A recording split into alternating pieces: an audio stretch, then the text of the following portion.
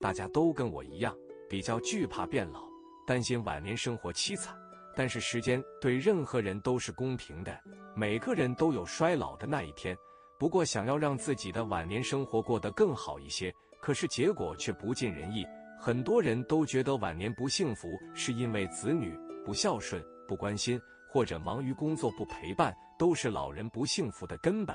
其实，晚年间想要过得幸福，并不取决于任何人，而是自己。一位八旬老人说出来他的生活秘诀，他说：“晚年想要过得好，这三件事一定要做。”欢迎大家一起加入国学经典的世界，共同追寻中国文化的博大精深。感谢订阅。不给儿女添负担，不给儿女添负担是这位八旬老人非常看重的生活态度。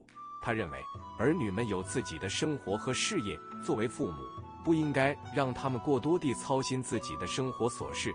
虽然儿女们应该承担起照顾老人的责任。但是过度依赖他们，只会给他们增加不必要的负担。在现实生活中，很多老人会因为身体和经济状况等原因，对儿女产生过度的依赖。他们可能会经常打电话给儿女，诉说自己的不适或困难，让儿女帮助他们解决问题。虽然这些举动可能会让老人感到安心和舒适，但对于忙碌的儿女来说，这可能会给他们带来压力和不便。为了避免给儿女添麻烦，老人可以尝试独立处理生活中的问题。他们可以学习新的技能和知识，提高自己的生活自理能力，减少对儿女的依赖。同时，老人也可以寻找自己的社交圈子，结交朋友，互相帮助和支持。这样不仅可以减轻儿女的负担，还可以丰富自己的晚年生活。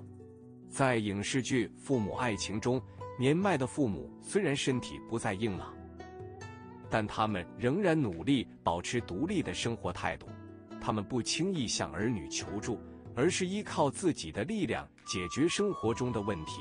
他们的坚强和独立不仅让儿女感到敬佩和支持，也成为了许多观众心中的榜样。总之，不给儿女添负担是老年人应该坚持的生活态度。通过保持独立和坚强，老人可以减轻儿女的负担。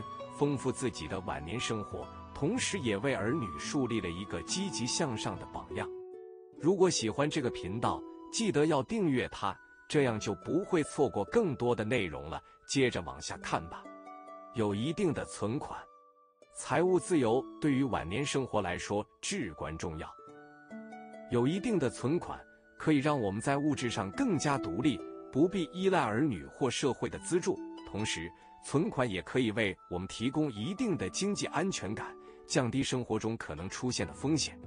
在影视剧《都挺好》中，苏大强因为有自己的退休金和积蓄，可以自由地安排自己的生活，不必依赖儿女。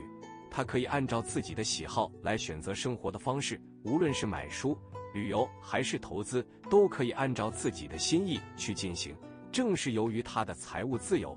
使得他在晚年生活中能够享受到更多的快乐和幸福。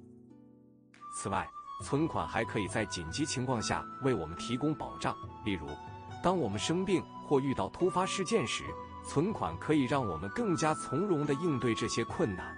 我们不必因为经济压力而选择较为便宜的医疗方案或放弃某些必要的开销，而是可以更加安心地享受晚年生活。因此。有一定的存款，对于晚年生活来说是非常重要的。财务自由不仅可以让我们更加独立和自主，还可以为我们提供安全感和保障。当然，如何安排和使用自己的存款，需要根据自己的实际情况和需求进行合理规划。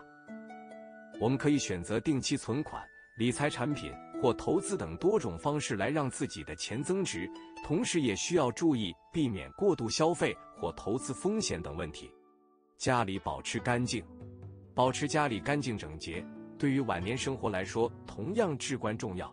一个干净舒适的环境可以为我们提供更好的生活品质，同时也有益于身心健康。在影视剧《请回答一九八八》中，德善的祖母每天都会把家里打扫得干干净净，让整个家庭焕发出一种温馨和舒适的感觉。她的坚持和付出。不仅让家庭更加整洁美观，也让家人们更加珍惜彼此的陪伴。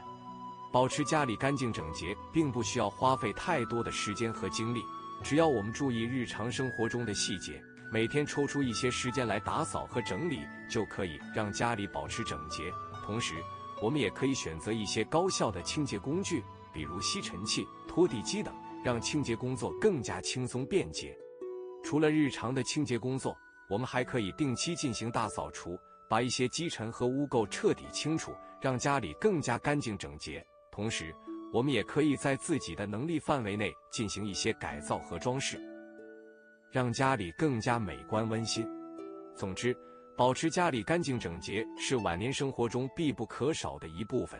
一个干净舒适的环境可以为我们提供更好的生活品质，同时也有益于身心健康。让我们一起努力，为自己和家人创造一个更加美好的生活环境。八旬老人的忠告给我们提供了宝贵的启示：要想晚年过得好，我们一定要保持积极乐观的心态，坚持适当的锻炼，以及继续学习和探索。这些建议不仅有助于提高我们的生活质量，还能让我们在晚年生活中感受到更多的幸福和满足。让我们借鉴这位老人的建议，为自己的晚年生活制定明智的选择。人到晚年，需要更加注重自身的生活品质和与他人的交往方式。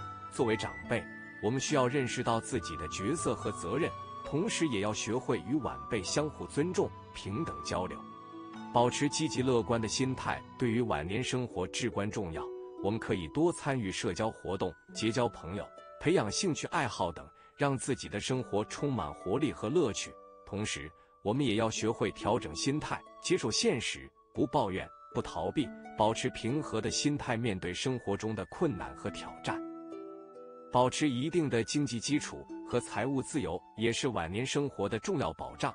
我们可以通过储蓄、理财、投资等方式来规划自己的财产，避免过度依赖儿女或社会资助，同时也可以让自己的经济状况更加稳定和安全。最后，保持与社会的联系和交流也是非常重要的。我们可以参加社区活动、志愿者工作、文化娱乐活动等，与他人互动交流，拓展社交圈子，增强自己的社交能力。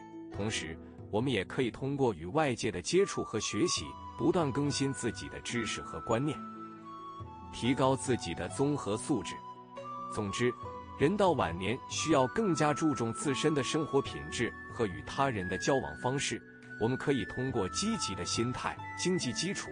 和社交能力等方面的努力，过上幸福健康的晚年生活。同时，我们也要学会与晚辈相互尊重、平等交流，让家庭更加和睦温馨。老年之后，我们一定要明白，有很多事情其实都需要认真的去考虑，守住自己的积蓄，同时还要做好与人际关系相关的事情。